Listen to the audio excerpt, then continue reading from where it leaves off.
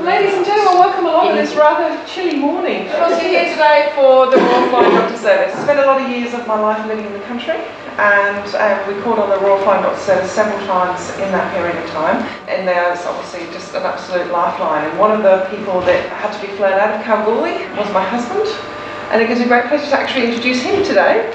My husband is Geoff Horsley, um, who is the managing, what are you? The General Manager of Aviation. Aviation with the Royal Flying Doctor Service. My father was flown out of Kalgoorlie by the Royal Flying Doctor Service. My mother-in-law was flown out. One of our sons was flown out, and I was flown out. So we've got our money's worth out of the Royal Flying Doctor Service. We figure we probably should give something back. That's our our brand new um, Rio Tinto Life Flight PC24 jet on its first touchdown in Australian soil in Broome. Actually, that was the day it arrived in Broome. I'm just on just on approach across the flats. You know, the tide was obviously uh, on its way out there. Uh, it was a very exciting day for us. So it was a, um, the introduction of a whole new generation of aircraft for the Flying Doctor Service. So we go back and we were talking, uh, we were actually talking earlier about the original uh, Fox Moth, which is still around, the actual original um, Western Section aircraft, which operated out of Port Hedland at the beginning of the Second World War. Had a hangar fall on it and it crushed it, but someone bought the wreck and lovingly restored it. So we actually use it quite often. It, it lives in Serpentine and we often use it for promotional material. At our ball last year, it was in the was at the entrance to our ball, uh, and the people that own it are very generous to us, uh, allowing us to access to the aircraft whenever we like. So it's quite a quite a step from that to a uh, purpose-built uh, PC-24 jet made in Switzerland, and a mere uh, $13 million each. It's as if it's come down in the swamp. It's about to land in the swamp, yes. Actually, the Broome Airport's not very far past there, so. Um, but it is, it's quite a spectacular approach into there. Um, Roebuck Bay is just over here. That was a great day. We actually spent a couple of days up in Broome to welcome it into the country uh, and had quite a contingent of us up there. Uh, it was very, very exciting for us. Um, now there, there we have two of these in Western Australia and there's one in, in South Australia. It's just arrived in South Australia. One of these is based in Broome and, and one at Jandakot. And I don't know what Central Section are going to do with theirs. I'd say it's probably stay in Adelaide. Um, that particular one there's the one that lives in Jandakot at the moment, and the other one that lives in Broome has a K call sign, and it's called Kimberley because it lives in the Kimberleys. So that's me. I'm the General Manager of Aviation, and uh, Lorraine's already um, done our Welcome to Country, so I'll, but it's up there for us. So, so about me, I started in aviation back in the 80s. I um, was, I worked for a, a family company which I inevitably bought and decided that that was a terrible way to make a living. Decided to sell the company, and the only other thing I ever really wanted to do in my life was join the RFDS. The opportunity came along for me to join the RFDS, so I joined the RFDS as a pilot, as a relieving pilot, and had the great pleasure of working in every base in Western Australia. So I spent time in Meekatharra, quite a lot of time in Meekatharra, uh, Derby, Port Hedland, and Kalgoorlie, and Jandakot as well, obviously. We closed the Derby base about uh, two and a half years ago now and, and opened a base in Broome. It was purely and simply Broome has sort of become the centre, centre of the Kimberley, the major hospitals in Broome, and it was really an economic decision that it was, um, it was better to position ourselves in Broome uh, at that time. So the decision was taken to move. And interestingly, as, uh, as, was, as we were discussing before, before we started this morning, the Derby base actually used to belong to the Victorian section not Western operation. We took it all back in the late 90s. There were several different sections in Western Australia. So Eastern Goldfields section in Kalgoorlie was a section all on its own. Uh, and Derby was run by Victorian section. And then there was Western operations that had um, base at Jandakot, uh, Carnarvon and Port Hedland. Meekatharra went in after they closed Carnarvon. The decision was taken to merge all the sections together and just become Western operations. So that was taken. Then um, we took the Derby section back under our wing and, and Eastern Goldfields became part of Western Operations. So now Western Operations runs the whole of Western Australia, and the Victorian section has no aeroplanes. They have about uh, 92 ambulances, believe it or not, in uh, Victoria. So they lost their medical contract to, a to a private operator, and then they went into road transport, and have been very, very successful because road transport's way cheaper than trying to operate aeroplanes. So Reverend John Flynn, Jimmy Darcy died up in near Halls Creek but the, how this came about was uh, Jimmy Darcy had had an accident. He was a stockman who had an accident. Uh, there was no chance of getting any medical help to him. The doctor that was trying to help him was doing it with the postmaster in Halls Creek. So he was telling the postmaster what to do on the radio, and the postmaster was doing the operation on Jimmy Darcy. The doctor then left to get to Halls Creek Uh, Jimmy Darcy died about 16 hours before the doctor arrived at Halls Creek because it took him a couple of days to get there, obviously. And that was sort of what inspired the Royal Flying Doctor Service. So Reverend Flynn said, look, we need to find a way to get provision for people in the country. We've got to help the people in remote areas with medical assistance. We can't just have people dying for things that they don't have to die from because they can't get medical assistance. The original inland aerial mission, as it was called at the time, which turned into the Royal Flying Doctor Service, started in Queensland. And the first flight was flown by a Qantas pilot.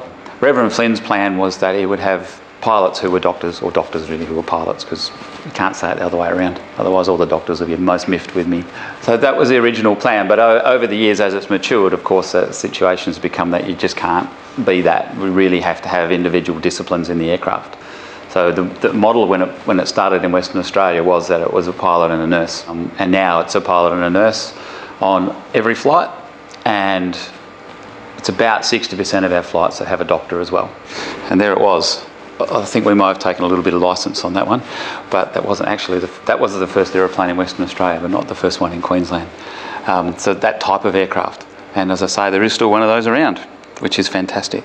Five bases, as I said, Jandakot, which is the biggest base at the moment, uh, Broome, which is our second biggest base, and that's a brand new, pretty much, and it's an absolutely magnificent building up there. It's really beautiful, very well funded by the Commonwealth Government and Lotteries West, which we're uh, very grateful for. Kalgoorlie, Meekatharra, which is our smallest base, but incredibly one of our busiest bases. And one of the great things about Meekatharra is its location in terms of it, its reach. So with our Meeka base in here, we can reach out into the desert areas, we can reach into the Pilbara, and they also reach into the southwest. So the Meeka base for us is vitally important. It's difficult to staff. Meekatharra is not the nicest place in the world for people to live, uh, you know, because of the isolation. Uh, so it can be difficult for us to staff it. And unfortunately, for every new pilot that starts with us, that's where they end up. Probably the, the guy that I take my hat off to the most, he, he went to Meeka with his wife when he started with us. They raised their kids. Uh, he did six years in Meekatharra, which is a bit more than usual. Uh, and then he's finally made his way to Jandakot base. But it's basically done on when, oper- when op- opportunities come up, um, people are given opportunity to move bases. But then it's uh, effectively done on how long you've been with the organisation as to whether you get first preference for the, to move to those bases. Broome is our most preferred base these days. Everyone loves the lifestyle. Used to be Jandakot, now it's Broome. Everybody wants to get to Broome. I reckon it's because they don't work very hard and it's a great lifestyle, but they would dispute that. The other thing too is uh, the flying up through here is absolutely spectacular. We actually do quite a lot of um, evacuations to Darwin. So we would move an average of 2,000 patients a year to Darwin out of the Kimberley because the Darwin Hospital is very good. And WA Country Health have an allocation of beds in the Darwin Hospital. So we often take patients out of the Kimberley into Darwin, and I can tell you that having worked in this area and flown up through this area is just incredible. If, if, it was anywhere else in the world and it wasn't so isolated and there weren't so many things up there that wanted to bite you, eat you, kill you, it would be of people. It is so beautiful. It is an incredibly beautiful place. When you're out in those remote areas, particularly out these areas where all the remote Indigenous communities are out in here, you can sort of get how come there were so many Dreamtime stories because the place just engulfs you. The silence is the most deafening sound you've ever heard. It is quite spectacular. Um, and I get why people want to go up there. And I get how I get how people stay there. They go there and just never leave because it is an incredible place. Apart from the horrendous weather, it is a it is an incredible place. But one of the great things about the weather up there too is it's quite different. The weather down here can be the thunderstorms and things down here can be a bit sneaky. Um, but up there, they're pretty obvious. They tell you where they are all the time. So when you're flying around up there at two o'clock in the morning in the middle of the wet season and there's thunderstorms everywhere, there's constant lightning, so you can see where they are. That's quite helpful. Um, as a pilot, I can tell you that's really helpful. Uh, whereas down here, they're a bit sneakier. They don't have lightning that much. So a lot of our work isn't actually as glamorous as it might seem. So we don't. So so about 80% of our work is actually into hospital transfer. It's just patients that need to be moved to, prim- to, to big hospitals. So lots of people that we just bring back to Perth because they need to be moved into a tertiary hospital. Um, and they can't get the specialist services in the, in the regional um, areas. And believe it or not, the two busiest places are Bunbury and Geraldton. That's the where we do our most of our hospital transfers from, Bunbury and Geraldton. The rest of it is, is evacuation work, so accidents, snake bites, all those sorts of things that you might see about. People particularly um, and particularly lots of tourists in the Kimberley. We during the dry season um, because the Kimberley fills up with tourists in the dry season, and we actually do bring quite a few people out who've been injured one way or another um, in the Kimberley. So th- those are primary evacuations. We also do um, clinics. We operate clinic services out of Meekatharra and Kalgoorlie and in Broome and Kununurra. Um, the Kimberley clinics are the, there's a clinic every day of the week in the Kimberley, sometimes two. Uh, Kalgoorlie we run about three a week and Meekatharra's um, one a week out of Meeka. So our doctors just go out on those and just run just a GP clinic for anyone that, that needs them. And we've just been just been uh, allocated some funding by the federal government to do mental health clinics as well. So we'll be getting involved in those in the in the not too distant future. Our Queensland cousins do do a lot of that. So a lot of the Queensland RFDS work is that primary health work. It's clinic work, um, not so much into hospital transfer or uh, evacuation work. Because Queensland has a lot of really um, big population centres quite close together, whereas we don't you know, other than, so it's a long way between our major population centres. So, you know, once you leave Perth and go to Geraldton, the next major population centre from there would be Karratha and then Broome. So it's a very long way between them. Each state operates quite differently and we actually all operate autonomously. So we have a central Royal Flying Doctor Service based in Canberra, but each state is actually autonomous and we fight each other over federal funding every year. We argue that we've got the biggest area to cover and they argue we've got the lowest population. Do you do a lot of work? Yeah, quite a lot on the Nullarbor. We have primary health clinics go to the Nullarbor once a week too, so that helps a fair bit. It's a couple of emergency road landing strips on the Nullarbor um, as well, one of which we don't often do them, but we have actually done one road landing in the last 18 months that I, that I can recall on the Nullarbor. Only the turboprops can do that. The jet can't land on the road. It's not wide enough or strong enough to carry the jet. And we have two up here between Carnarvon and, and uh, Geraldton. There's two road landing strips there as well. Uh, one at Nanutarra, and I can't remember where the other one is, but it's north of Nanutarra on the way up. But Western Australia, of course, has a lot of challenges in terms of providing healthcare because of the, the small population and the vast distances and the remoteness of some of those populations, um, particularly um, the central desert areas in here. Um, a lot of communities in there, but very small. A lot of very small communities. You would probably recall a few years ago the state government said we're going to have to shut some of these communities down because we can't provide them services and make some of those communities a bit larger because health was one of the real issues of being able to provide services, to, particularly to these communities in here and some of the communities that you can't see but are in here.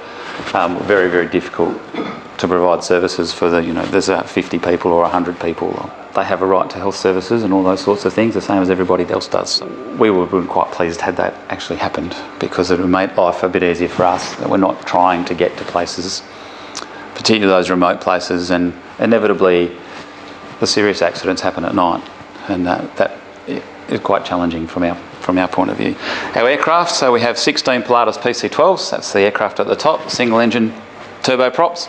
They're a fantastic aeromedical aeroplane, absolutely brilliant aeromedical aeroplane. I have a big door at the back here. There's here passenger loading here. So the patient loading is done at the back. We've got a lifting device that was actually invented in Western Australia for us to, to use to load the patients on and off. So it removes the physical aspects of us loading and unloading the patients, which is fantastic. Just straight on a stretcher, the wheels fold up and then they go, and then we just roll them around. There's another set of wheels on actually on the, the stretcher base. We can fit two stretcher patients into the PC-12. Cruise speed of 245 knots. Actually, some they are a little bit faster than that, and a range of about 900 nautical miles, which is around 1600 kilometres. We swapped into the single-engine aircraft from the twin-engined aircraft. The reliability of the engine in these aeroplanes is absolutely phenomenal. When we break it down, we do more movements, takeoffs and landings than Qantas and Virgin and we do them in much more remote places and much more inhospitable times of the day and night. And The safety record of these aeroplanes is absolutely phenomenal. Absolutely phenomenal. We've only ever, ever had one engine failure in one of these aeroplanes in all that time, in all those movements and all that time. And that wasn't caused by us, it was caused by an overhaul that was done incorrectly. So they're a phenomenally reliable, safe aeroplane and actually um, state of the art. They um, are the latest technology actually avionics and operational point of view, absolute latest technology. So they're a fantastic aeroplane. And as I said, our two PC-24 Rio Life Flight jets, they are no longer Australia's only aeromedical jet because Central Section have now got one. Uh, but they can carry three patients and two medical crews. Uh, 740 kilometre an hour speed, and actually can be just a fractionally faster than that as well. And they can take off and land on short runways. So it's about a, they need about 100 metres more than the PC12 to operate in and out of, and they can operate in and out of gravel as well as sealed runways, same as the, the 12 can. So they are a, quite a phenomenal aeroplane. We've, we've recently retired the last of our, so we have a, a life limit on our PC-12, all our aircraft. So we recently retired our last of our old style PC-12s and gone in, and all of our aircraft now are the latest technology PC-12s. And we don't have any due for retirement of those anytime soon, which I'm really quite pleased about because they cost $7 million each. Um, so we actually bring those into the country. Uh, when we buy those, we buy them from Switzerland, we ferry them across from Switzerland, um, which I was going to bring the last one over, but unfortunately the opportunity went past, so I had to send a couple of other people. I was very disappointed. Um, and then when they're here, we fit them out with the aeromedical interior. So we basically get them empty and fit them out with an aeromedical interior. It takes six weeks and costs just over a million dollars, about $1.2 million to put the aeromedical interior into it. The PC24 is actually fitted out with the aeromedical interior in Switzerland and then we pick it up as is and bring it over. We have a different stretcher configuration as well for the, for the PC12. There's a single stretcher configuration where we actually change the whole aircraft configuration and that's for, um, for what we call bariatric patients, so patients over 160 kilos. Um, won't fit on our stretchers the normal stretchers, so we have to actually reconfigure the aeroplane with the, with the large stretcher, which will take a patient up to 285 kilos. And we do have a couple of those um, that we fly regu- quite regularly. We bring them to Perth for treatment. So there's several different configurations, and we can operate the 24. And we also have the neonatal configurations for both the aircraft as well, because we actually do quite a lot of neonatal transfers. So the, the 24 will take two neonatal stretchers, um, and the 12 will take one um, but the, the 12 week you can put in a neonatal stretcher and leave the, the regular stretcher in there and still use that. But the neonatal stretchers are basically flying humidicribs. Yes, we do have babies born on board. Um, I actually, I can remember bringing a lady back from Albany one night with a, uh, all of our nurses are midwives, by the way. So um, we were bringing a lady back who was in labour, and the nurse said to me, "If this baby's born, I'll need to look after the mum. You're going to have to look after the baby." I might be a bit busy. She said, You got five kids, you'll work it out. so, but I've never had a baby born. But baby didn't end up being born. Actually, I remember doing a flight with the same nurse, and there was a baby, a quite upset baby, that was a toddler. Uh, Mum was quite sick, and the toddler was quite, wasn't well.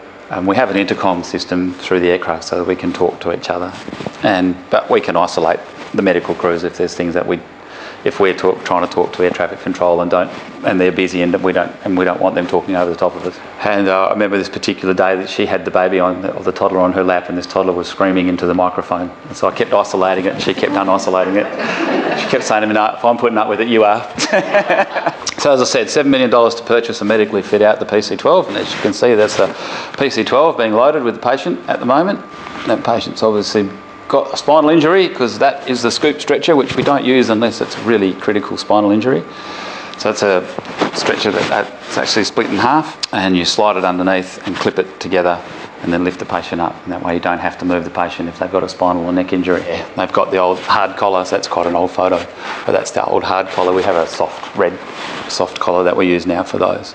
I reckon just looking at that aircraft, I think our fundraising people have been a bit cheeky because I can tell by looking at the interior of that aeroplane that that's actually a central section aeroplane, not one of theirs. So the running costs of the aircraft are $1,700 an hour for the 12 and $5,300 an hour for the 24. All of our services are absolutely free for Australian citizens. International tourists, it's recovered through their uh, travel insurance, but if you're an Australian citizen, it's no cost whatsoever. The last 12 months in WA, we flew over 8, 8 million kilometres and our coordination centre received 38,000 calls for assistance. However, that's 104 calls a day. So we have three people in the coordination centre plus a doctor. So the doctor's job in the coordination centre is to provide clinical coordination and make decisions about which patients are required. So we have a scale system, um, priority system, one, two, and three, and the doctor makes the tells the coordinators which are the priority patients and which ones we need to go and get straight away. We have doctors at each base spread across the, the state, and um, when they're not flying, when they're on shift and not flying, they'll be taking the calls and doing the medical assessments. So they, they do the medical assessments, they'll provide it back to our clinical coordinator, who will then tell the coordinators, this is a priority one, we need to go and get this patient now.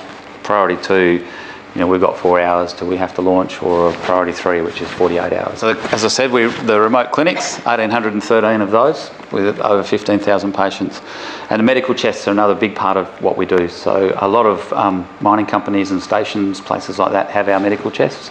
They're a big green chest, um, and inside that chest is a whole pile of um, medical equipment, um, drugs, those sorts of things.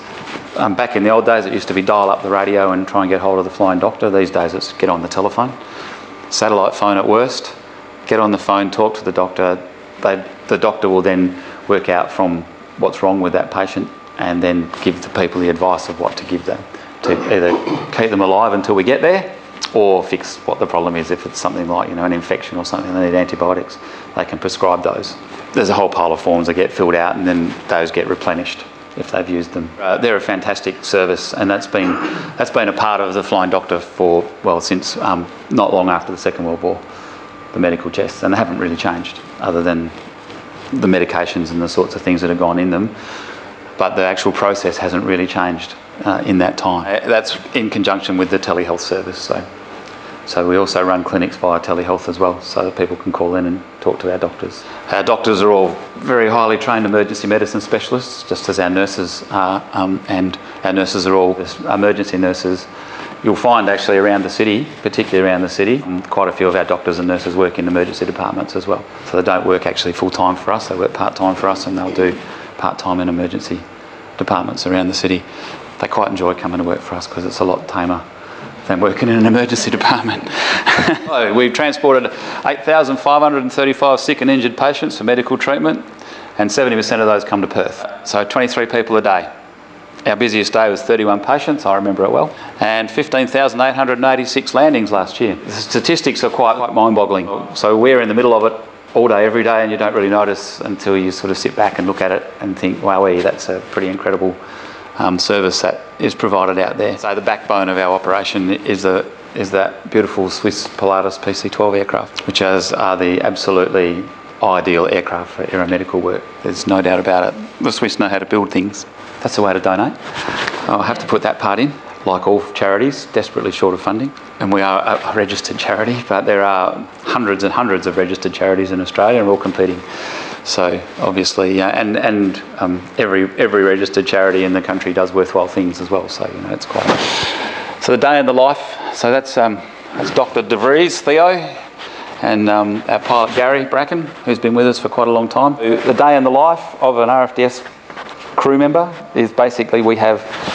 Uh, so rather than complicate things, out of Jandakot we have four day shifts that operate and uh, three night shifts. So if you're on a night shift, generally uh, you'll start work at six at night and your shift's 12 hours. So there are three shifts, but the one of the first shift starts at six o'clock at night and they actually go to work at six o'clock at night and then there are two shifts at eight o'clock and they stay home till they're called. So say uh, for an emergency call out shift, say the eight o'clock shift at night, you might be at home, you know, it might be about midnight and you're just um, wandering around the house trying to think of what you're going to do while you're waiting for the phone to ring.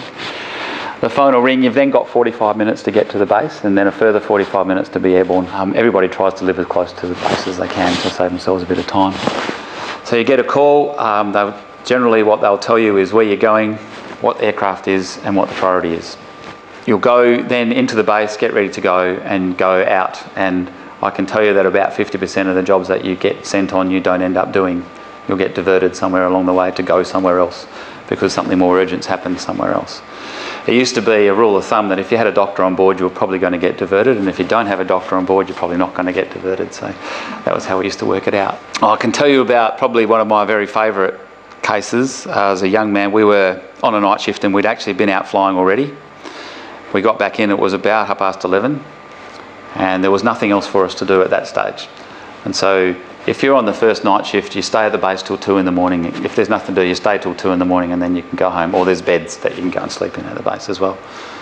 And when Lorraine was working in breakfast radio, I wouldn't go home at two in the morning because she was getting up at 3:30. I didn't want to wake her up because she got quite, she gets quite grumpy.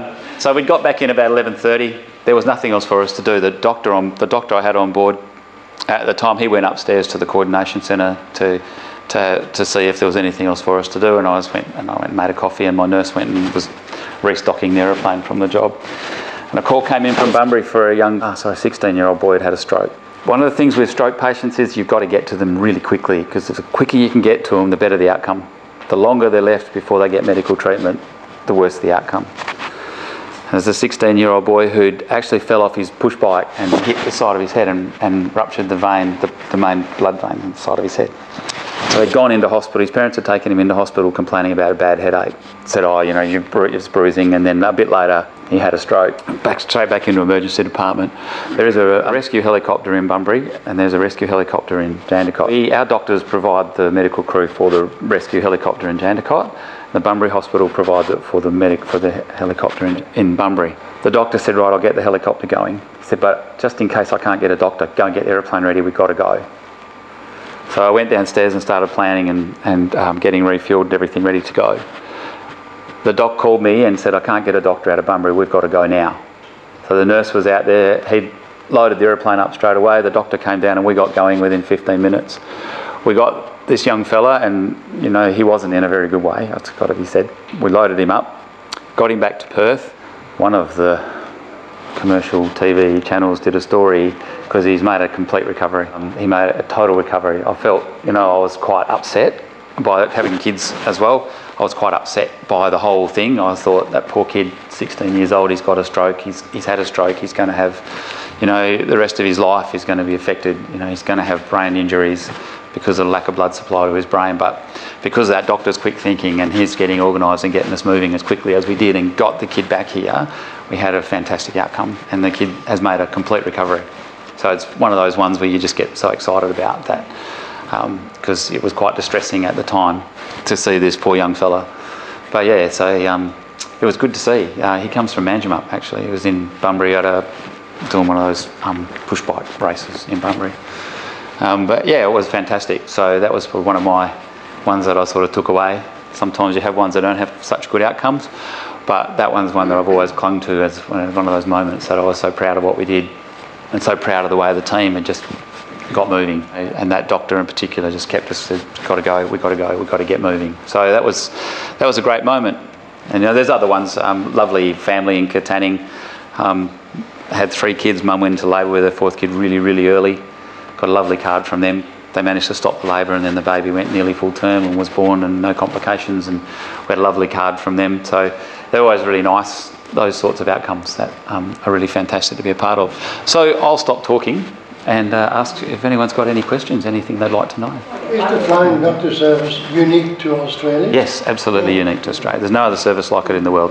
Every other service in the world that has sort of started up now is a paid for.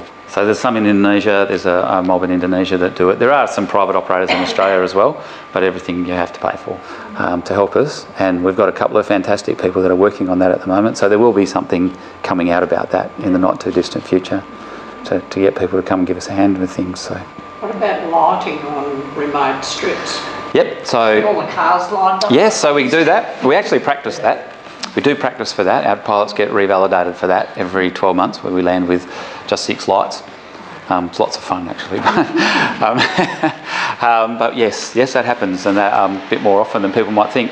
But the other one is um, lit toilet rolls are quite helpful. People soak toilet rolls in Kero and light them up, which is quite helpful because they burn for quite a while. Um, but there's a whole pile of actually quite cheap solar lighting now that we can get. So approved, it's about $4,000 for a full set of solar lights. And I know several shires are going away from putting in fixed lighting and actually putting in the temporary solar lighting because it's much cheaper for them to maintain. They just put them out. And when after two years they go and change the batteries. Um, but yeah, they've, they've become uh, that technology. And um, Western Power have been working with our fundraising team to, um, they put up some money to improve lighting in locations where we didn't have lights. We've said, you know, we would like to have lights at some of these places. And so they've put the money up for about three places to put lights in. And there's also a, a Commonwealth funding grant that comes out every year that for airstrip upgrades. Uh, and those communities often come to us for support for their requests for things like lights and um, improved fencing and you know sealing runways and those sorts of things. Because one of our biggest issues is livestock. Um, Fitzroy Crossing, we hit kangaroos two kangaroos with three weeks apart at Fitzroy Crossing at night. So they wanted upgrade fencing. We're pretty pleased with that because uh, yeah, the, the, kangaroos up there aren't very big. The wallabies aren't very big, but they still do a lot of damage when we hit them. And once we've hit them, we've got to stop because um, damage to the aircraft, so we can't go. So. Um, so yeah, improve fencing and those sorts of things, improve lighting, uh, things that we're really, really uh, big on. We have had a couple of incidents. Um, we had one emergency a while ago, about 18 months ago now, where the patient attacked the nurse and the doctor.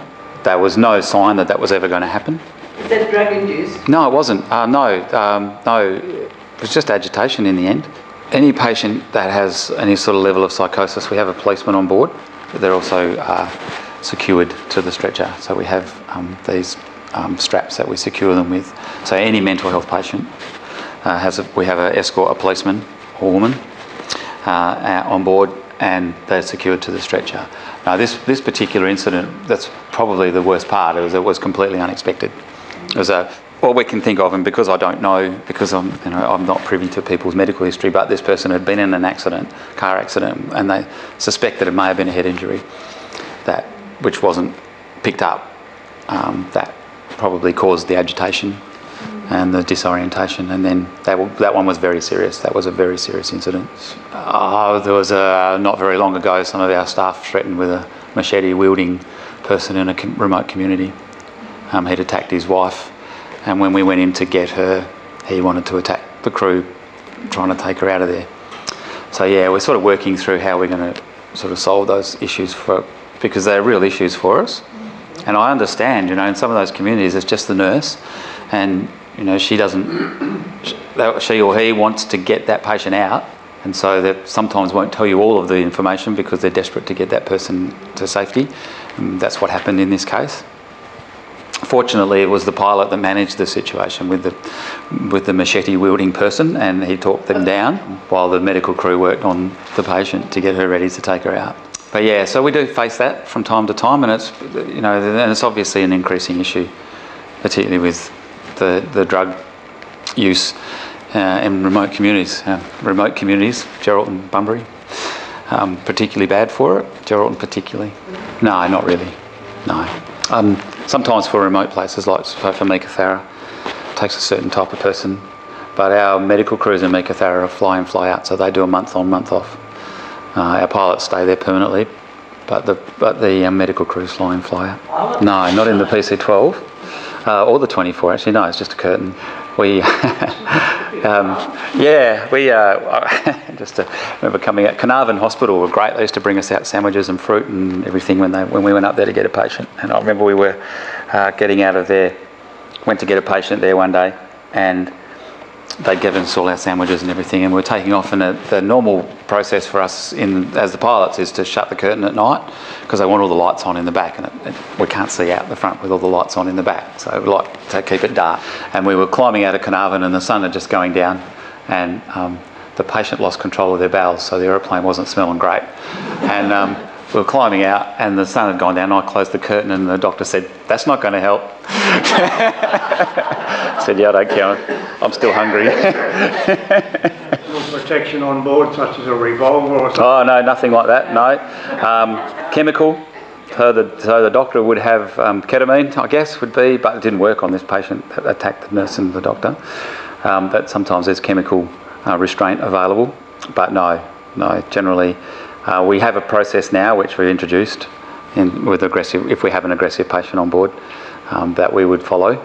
Um, but yeah, no, there's no, because we were sort of thinking about protecting our staff in terms of their response to aggression as well, because we, you know, you never know which way a court's going to go. So what is the duty of care to a patient who clearly is a danger to the person Exactly, and that's what that's what we've grappled with a lot. So we spent a lot of time after the last incident trying to work through how we would manage that. Yeah. You know, the pilot, who's actually a very good friend of mine and is an ex-policeman, and he said, I just hit him with a fire extinguisher.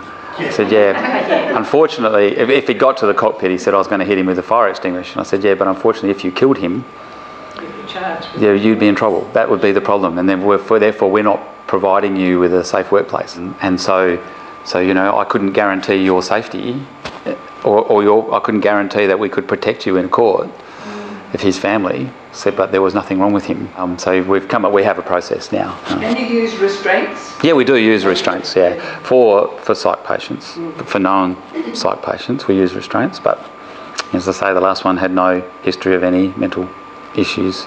It was a pure and simple car accident. Um, so yeah, there was no indication that this person was in any way going to be a threat. We have uh, quite a cross section of doctors and nurses that work for us, and unfortunately, on that particular flight, there was a female nurse and a female doctor, and neither of them were particularly big. You know, had it been one of you know like one of our doctors who's about 120 kilos and he's a big aggressive Scotsman, then the bloke wouldn't have got off the stretcher. But you know, because he would have just he would have dealt with him. But you know, the physically couldn't restrain this. There was a big man that was that attacked them, and they neither of them were particularly big, and they weren't going to be able to restrain him. So. Yeah, so it's a, it's a problem. It's not common. It doesn't, you know, it doesn't happen all the time. We've had five in 20 years, but that's five too many. If you text Flying Doctor to there, you'll, they'll send you a link and you can donate. and we'd be very grateful.